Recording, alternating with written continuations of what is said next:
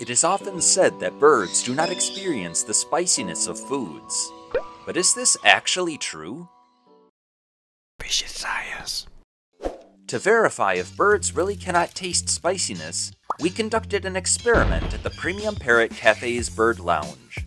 Upon entering the bird lounge, the parrots greeted me warmly. With their assistance, we set up our experiment. We chose the Cheongyang chili, known as the spiciest chili for this test. Before giving it to the birds, I sampled the chili myself. What? It was so spicy that it burned my tongue. The burning sensation we feel from chili is due to a component called capsaicin. Capsaicin triggers sensory receptors that detect pain and temperature, not taste, which is why it causes a sensation of pain and heat. It is believed, however, that birds hardly react to the spiciness of capsaicin. To see this firsthand, we offered a hot chili pepper to a parrot.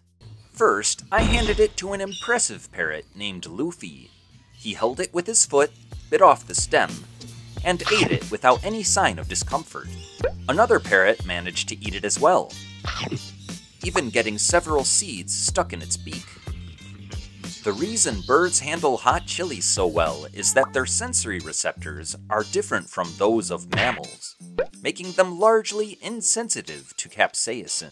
Therefore, they do not feel the heat from even pure capsaicin powder.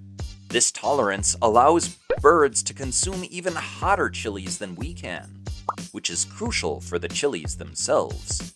When you slice a chili open, it's filled with seeds, right? Plants produce fruits, primarily to disperse these seeds. Mammals typically chew their food thoroughly and break it down extensively in their digestive systems, often destroying the seeds in the process. Birds, lacking teeth, do not chew their food finely, and their quicker digestion often means seeds pass through their systems intact. Furthermore, birds' ability to fly over vast distances enhances their capacity to spread seeds widely.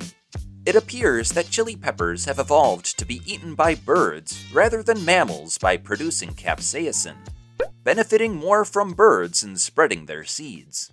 It's often said that birds don't feel spiciness because they are meant to eat chilies, but it's actually the reverse that's true. A study published in Nature magazine in 2001 found that complete, germinable seeds of a particular chili variety were discovered in the excrement of birds in the southern United States. In contrast, local rodents did not eat these chilies, or any similar non spicy varieties. This shows that chili pepper's strategy of using spiciness to ensure survival works perfectly in nature. The dynamics between living things are indeed fascinating, aren't they? Interestingly, while this strategy failed with other mammals, humans' enjoyment of spiciness and subsequent cultivation of chili peppers represent another unexpected success. It seems that today, more artificial selections are being made on Earth than natural ones. This concludes our video. This was Fishy Science, where science unveils the mysterious.